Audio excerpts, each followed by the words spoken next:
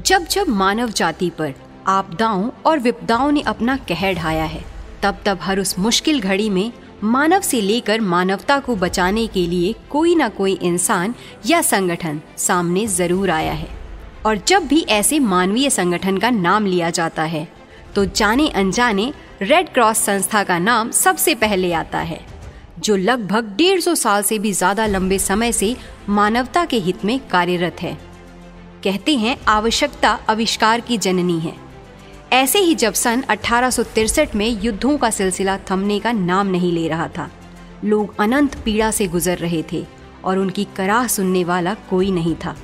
तब स्विट्जरलैंड के Henry Dunant ने कुछ अन्य लोगों के साथ मिलकर मानवता को बचाने के लिए international committee of the red cross की स्थापना की, जिसका मिशन खास करके सशस्त्र संघर्षों तथा अन्य आपात स्थितियों के दौरान मानव पीड़ा को कम करना, जीवन और स्वास्थ्य की रक्षा करना और मानवीय गरिमा को बनाए रखना है।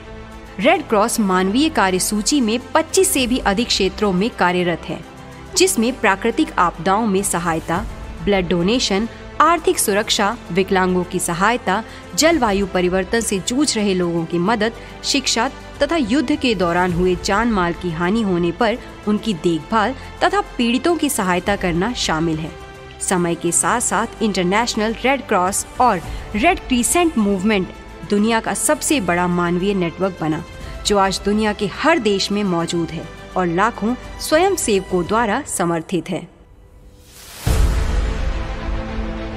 हर वर्ष 8 मई को मनाए जाने वाले रेड क्रॉस डे का उद्देश्य हर आम इंसान को इस मानवीय गतिविधि के लिए जागरूक करना है। लगभग 10 करोड़ वॉलेंटियर्स वाली इस रेड क्रॉस संस्था से जुड़ने वाली 50 प्रतिशत महिलाएँ हैं, जो दुनिया के लगभग 190 देशों में अपना योगदान दे रही हैं। वहीं रेड क्रॉस चार बार नोबल प्राइज अपने नाम करने वाली संस्था है। रेड क्रॉस संस्था भारत में भी स्वतंत्र रूप से हर मुश्किल घड़ी में अपना योगदान देती आई है। बहुत ही गर्व की बात है कि हमारा आईएमसी परिवार भी समय समय पर इस संस्था में योगदान देता रहता है। रेड क्रॉस डे पर आज समस्त आईएमसी परिवार आपसे भी विनम्र अनुरोध करता है कि जितना हो सके मानवता के इस नेक कार्य में अपना योगदान दें और इसकी शुरुआत लोगों को इसके प्रति जागरूक करके करें। याद रखें, मानवता से बड़ा कोई धर्म नहीं।